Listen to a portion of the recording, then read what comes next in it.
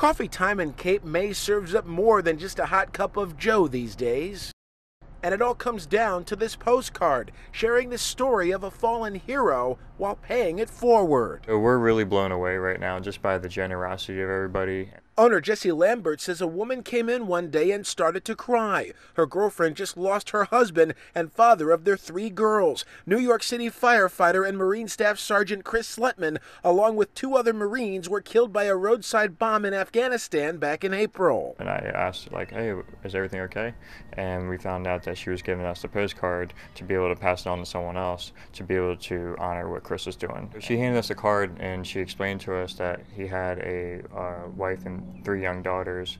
The postcard calls for a little bit of kindness, which means buying someone a cup of coffee, just like the Java Staff Sergeant Slutman used to enjoy with his buddies while going to work. So she wanted to go to a coffee shop because that's what she knew that he loved to do with his friends, and wanted us to pass on the um, act of kindness to someone else that likes to get, you know, a fun drink or something like that.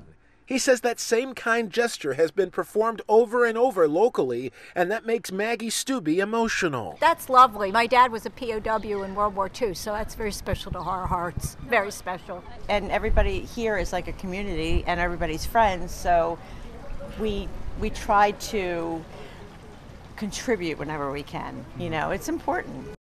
The crew at Coffee Tyme says the tribute has taken off on social media, with people paying it forward the same way all across a grateful nation. Um, just to be part of something so grand and, and so large, you know, as Chris's life and the memory of him, we were really just honored to be part of it. Family members, friends, and even perfect strangers have been honoring Staff Sergeant Slutman by donating money to a children's education fund in his name. There's more information on that organization on our website, fox29.com.